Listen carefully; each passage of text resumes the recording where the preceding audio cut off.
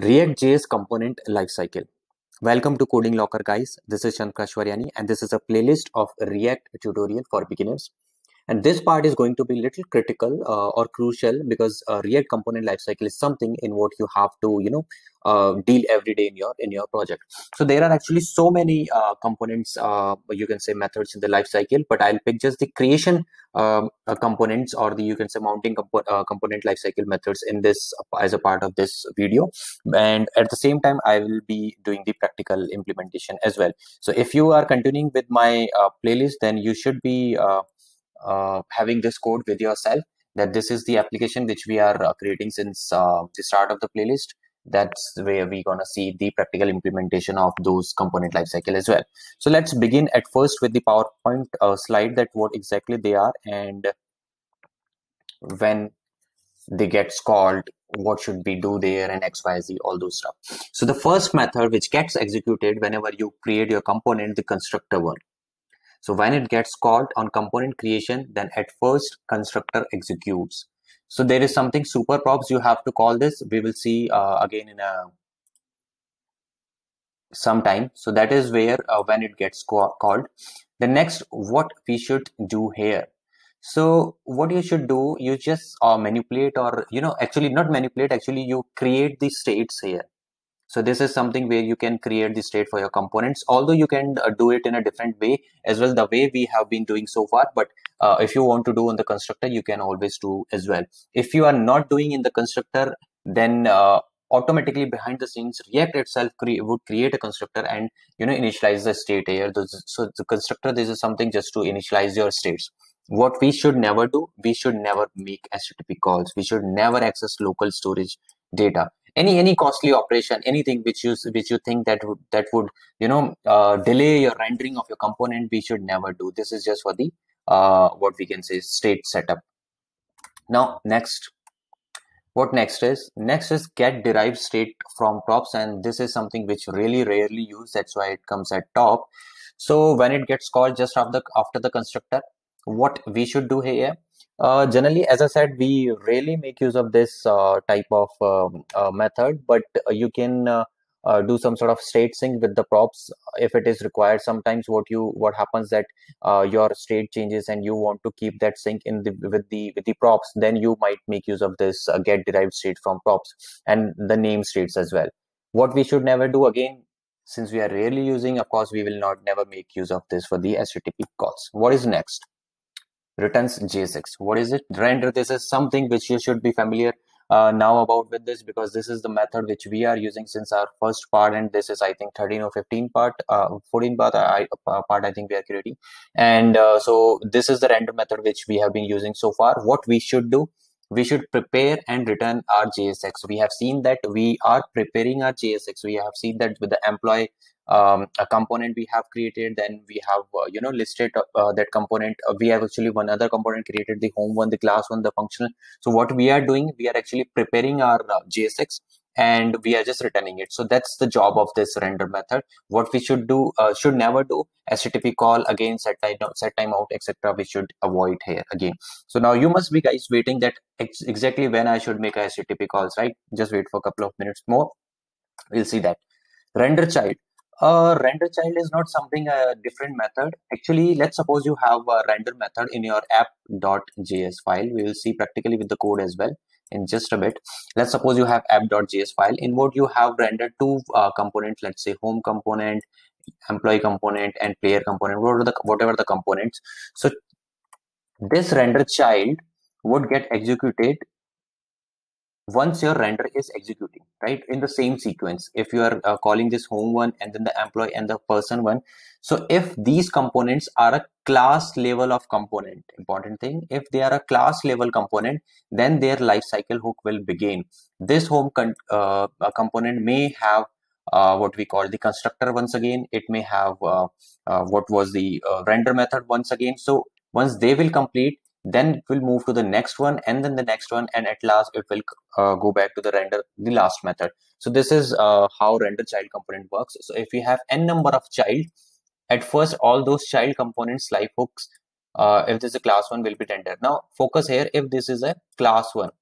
So one important thing that especially life uh, uh, life cycle of a components uh, happens in the react class level component only not in a functional level majorly time. So we, we that's why we say if this is a class one that's why we have these number of methods available. You will not see those exactly methods available in the functional level component. I'm talking about the uh, class level components right? Now what next is? Component did mount and this is something for what we are waiting. Uh, this is uh, where you will write your http request and this will uh, call once render is complete and once render child is completed right? What we should never do update state uh, this is something little tr tricky that you should not update the state. When i say update the state doesn't mean that you should never update. It is like in sync manner you should not do. Maybe with a callback or with a with a with a with the uh, with the async one when you have the response then maybe you can update the state. But try to avoid this we should not update at least in a sync manner we should not update the state here okay now let's see uh, everything with a practical example. So let me open my application. This is my uh, running application. That's the console. So you can see this is my app.js and this is a class level of component right? And i said only in the class level of component you would get those uh, uh, life cycle. If i talk about the let me go and go for the employee.js right? This is our excuse me functional level of component. Here we cannot have the same what we say the lifecycle components. Now uh, the first one is the constructor. As i said at first it has to call the super props otherwise you won't it won't work. I have added the console.log app constructor. Then next is get derived state from props. This is the another uh, lifecycle uh, method which would get executed after the constructor. Then we have uh, component did mount then I have added the console log as well uh, as well. So and this is our app.render method. Now I have explained that uh, if you have a child component if you're my following my playlist and you must be having the project but not this file. I have just created this file just for this demo because I wanted to showcase uh, the sequence of the execution. So you can see I have created a class level component player and in the player nothing i'm not doing anything else. I have just added the lifecycle uh, components uh, once again here as well. So you can see we have constructor we have get derived state from component uh, component mount and render. So let's see how it how they get scored. So let me refresh this and focus on this one. Let me zoom it a bit. Okay. See we have app constructor. Let's go to this app constructor.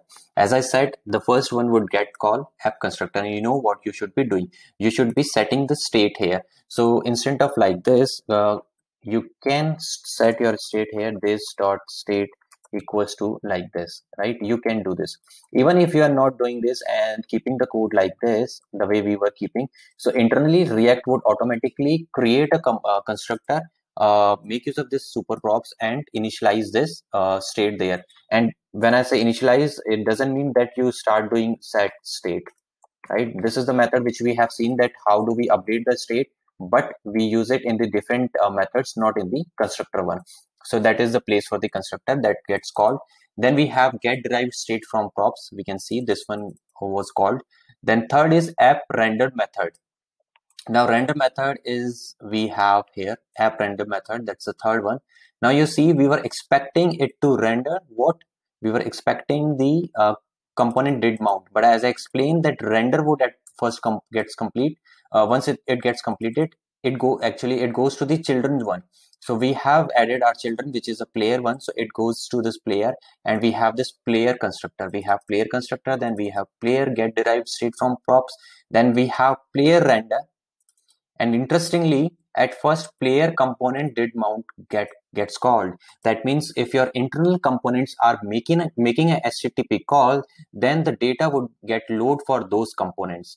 Once all of the child components completed with the lifecycle hooks then it comes back to the app.js and we have a call for this app component did mount right?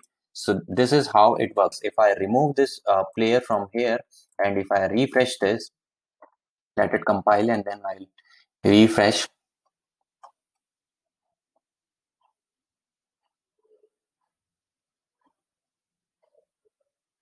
It is taking a little bit time. Let it compile. Yeah it's done. Now let me refresh this.